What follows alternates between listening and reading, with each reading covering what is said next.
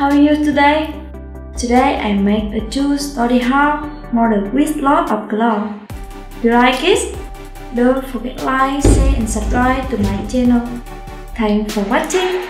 Bye bye!